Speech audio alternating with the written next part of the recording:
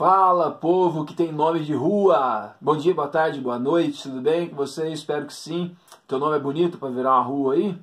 O nome é bonito e aí vira, uma, vira um nome de rua porque é um nome bonito? Ou ele é bonito porque ele virou nome de rua? Ou ele não é bonito de jeito nenhum? Quem que escolhe o nome das ruas? Ah, agora vocês vão ver nas próximas aulas. A gente já tem falado de algumas falar ruas é sacanagem, né? Mas a gente já tem falado de alguns nomes aí que tá na rua da tua cidade. Nós estamos tentando entender esse período aí da história do Brasil que chama Primeira República. Com certeza na tua cidade aí tem uma rua que chama Marechal Deodoro, tem uma rua que chama Floriano Peixoto, tem uma rua que chama Prudente Moraes, tem uma rua que chama Campos Sales, tem uma rua que chama Rodrigues Alves.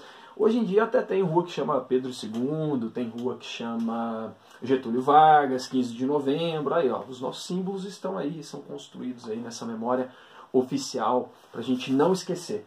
Hoje a gente vai falar da aula 31 de História do Brasil, Ascensão e Consolidação da Oligarquia. Você vai entender o que é oligarquia e como que tá esses primeiros passos aí da República, do período republicano no Brasil. Estou usando aqui o termo a Primeira República, como no material aí. Já falei para vocês por que é melhor usar a Primeira República.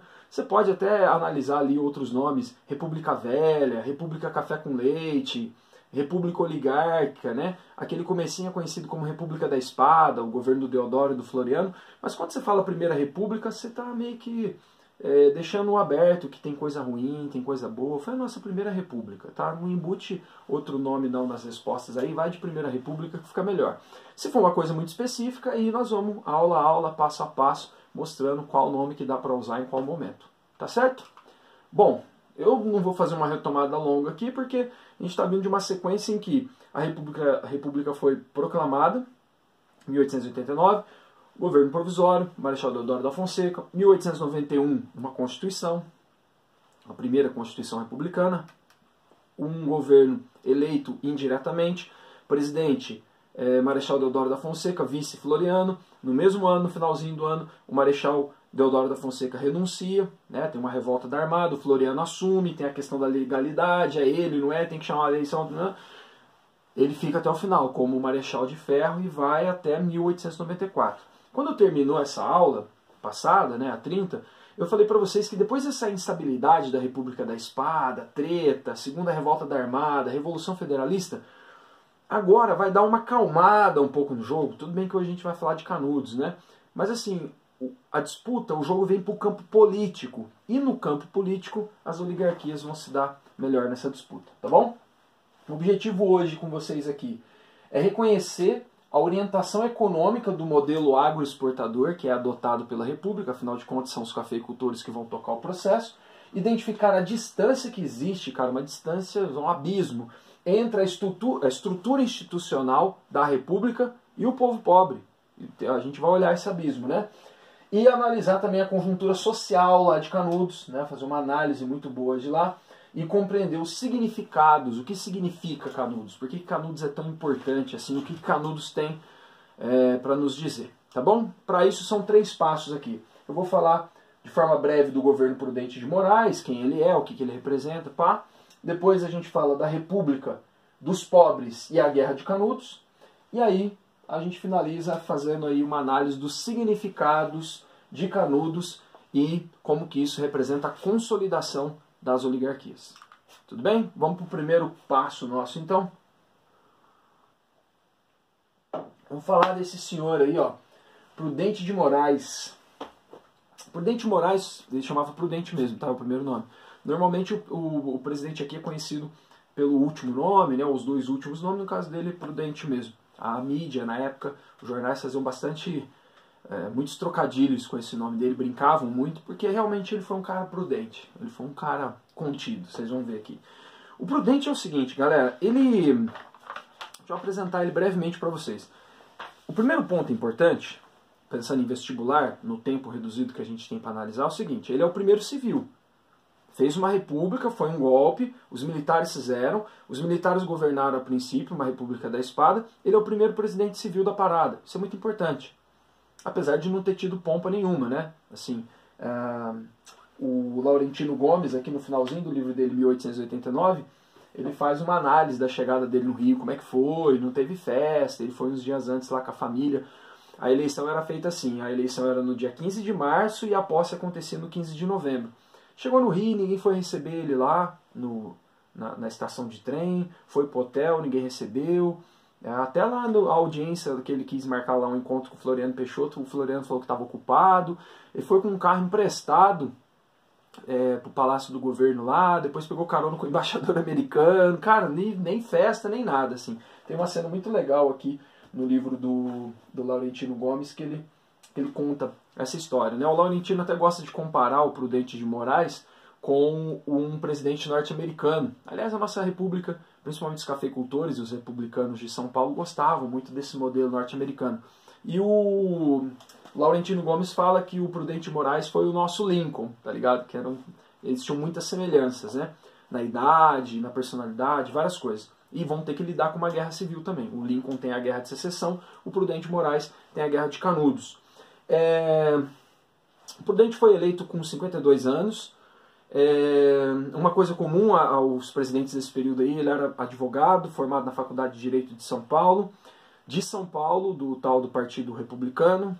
Ele era do de Itu, em São Paulo, não era de uma família necessariamente rica, mas depois foi indo ali para pro, meio da elite do café. Né? O que importa é que ele vai fazer uma carreira política nesse Partido Republicano Paulista e ele está junto, ele está representando ali os cafeicultores do, de São Paulo. E depois ele mesmo se torna um, um desses cafeicultores. Né?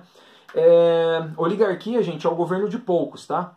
Toda vez que eu falar oligarquia aqui, é, eu estou falando de poucos que governam. Então, assim, é um governo restrito a poucas pessoas. É tipo assim, a elite está governando, entendeu? Então, quando eu falar oligarquia de São Paulo, estou falando da elite, cafeicultora, proprietária de terra de São Paulo. Não sei se vocês vão lembrar, na outra aula eu falei para vocês que tinha alguns projetos em pauta, né? Tinha o projeto jacobino, tinha o projeto é, positivista e tinha o projeto liberal. Lembra que eu falei, ó, presta atenção, porque é esse que vai ganhar?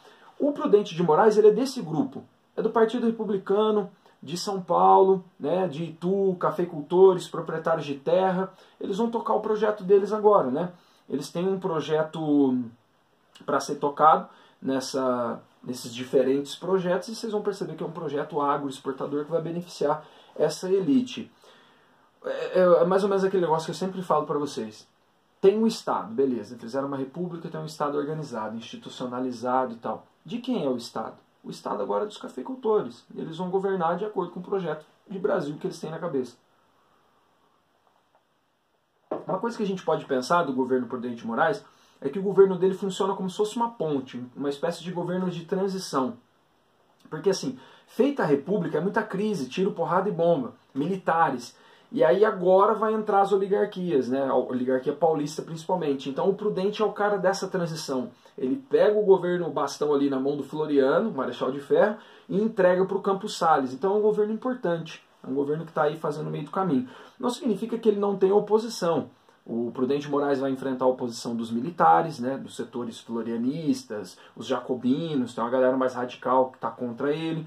Ele enfrenta a oposição do, do seu vice, por exemplo, que era um cara que te, era traído pra caramba e tentou armar para ele, inclusive um atentado contra a vida dele, que era o, o Manuel, Manuel, Faust, Manuel Vitorino. Manuel Vitorino era o vice. Vice traíra no Brasil é mato, gente. Ó, acostuma aí porque de aqui até 2000 e, é só só trairagem, tá? É, e ele tem também ah, no governo dele que termina aquela revolução federalista lá no sul, né?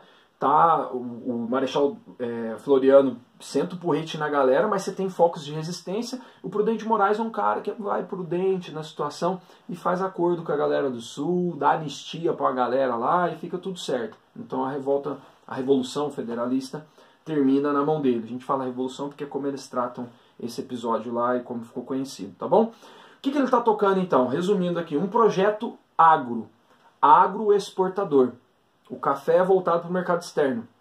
Eles vão usar agora a máquina, o Estado, para poder atender os interesses é, dessa elite e o Brasil que eles têm na cabeça. Né? No campo político, vamos colocar assim que o governo dele, beleza, ele consegue fazer essa transição, ele cumpre o papel dele. No campo da economia, vai ter uma crise. É uma crise econômica que está vindo desde o começo lá da República, aliás, desde o, da Guerra do Paraguai, para falar a verdade, né? Dívida externa, déficit, está um caos a economia. O Rui Barbosa tentou lá fazer o, o encilhamento, não deu certo, mas o Prudente não vai conseguir resolver isso. Só o próximo presidente vai conseguir fazer um plano econômico aí. Depois vocês me falam se vocês vão gostar ou não. E a sede do governo é no Rio de Janeiro, né? A cena está ali. Ele consegue um governo de estabilização da política. Então, um governo pleno, assim, do ponto de vista político. Tem o um episódio de Canudos que a gente vai falar separado aqui. Eu gostaria de indicar para vocês, vocês que gostam muito de podcast, né? Geração de vocês. Cara, tem um podcast que é sensacional, sensacional. Se você puder perder, é que tem episódios de 15 minutos, tem episódio de 20, tem episódio de uma hora e meia, né? Mas enfim, você gosta de história, tá curtindo o rolê, tem um episódio desse cara aqui, ó, do Rodrigo Vizeu. Ele fez um podcast para Folha, em parceria com a Folha. Tá no ar, é só clicar aí que você acha. Chama o, o Presidente da Semana. Cara, e ele faz um papo muito legal do Marechal Deodoro da Fonseca até o Jair Messias Bolsonaro. E para todos esses papos, para todos os podcasts, é muito bem editado, muito bem escrito. Ó, vale a pena. Tô falando para vocês que é legal, porque é legal mesmo. Ah, escuta um aí é, de um desses presidentes aqui que você vai gostar é, para todo papo que ele faz, ele convida um historiador. Então, por exemplo, ali para o Marechal Deodoro e para o Floriano, ele convidou José Murilo de Carvalho para abrir e começar a falar, ah, cara, ó, que peso. Aí depois, para o Prudente de Moraes, foi o Laurentino Gomes, depois tem a Lídia Schwartz, depois tem o Boris Fausto. Cara, ele fala assim com, com os top, sabe? Muito legal, vale bastante a pena. E aí ele lançou um livro. E aí, cara, eu tô degustando aqui, eu tô lendo eu já ouvi o podcast todo, né? Eu tô lendo o livro conforme eu vou dando as aulas para vocês aqui. Comprei recentemente, lançou há pouco tempo. Ah, fazendo propaganda do Rodrigo Vizeu, mas vale a pena, é muito legal o, o livro dele também. Uh, o prefácio quem faz aqui, inclusive, é a Lilia Schwartz. Estou vendendo livro pra caramba da Lilia Schwartz também, né? É que ela tem trânsito nas editoras aí, vai bem. Hum. Vamos lá então, passado esse primeiro ponto aí, vamos pro mais importante, o mais pesado aqui, é o de Canudos. Cara, Canudos é o seguinte. É, olha aqui, a República, os pobres e a Guerra de Canudos. Como é que fica o povo na coisa do povo? Porque a República é a coisa do povo, né? A coisa pública. Como é que está o povo nessa situação então? A República é interessante porque quando ela é proclamada, ela não, não tem necessariamente ali um ideal muito profundo republicano, só que a gente não pode negar que ela gera algumas expectativas. Mudou o governo, puseram a família real para correr. Vão ter grupos aí que vão tentar buscar inclusão, buscar cidadania, movimentos sociais vão começar a se organizar. A República ela abre caminho também para reivindicações sociais, né? Reivindicações contra a miséria, reivindicações contra a opressão, por exemplo. E Canudo é um, Canudos, né? É um desses exemplos aí. Cara, Canudos é o seguinte. Se você quiser anotar isso, você anota. Ó. Canudos é uma tragédia. Canudos é uma tragédia. Canudos é triste. Canudos é uma vergonha. Uma vergonha para a República, uma vergonha para o Brasil, uma vergonha para as Forças Armadas. Vai pondo aí na conta das Forças Armadas. Vamos fazer a conta no final desse curso. Aí a gente faz um saldo, você me fala o que, que você acha. Canudos, cara, é um episódio bizarro da nossa história. Lindo e triste ao mesmo tempo. Vamos lá. Deixa eu dar a cena para vocês. 1896, final do século XIX, virada para o século XX. Cara, Nordeste. Pensa no Nordeste do final do século XIX. E principalmente nos últimos 20 anos, aí, nas duas, duas, duas últimas décadas do século XIX, cara, secas terríveis no Nordeste. Você tem seres humanos lá subnutridos, a galera morrendo de fome, a galera comendo barro.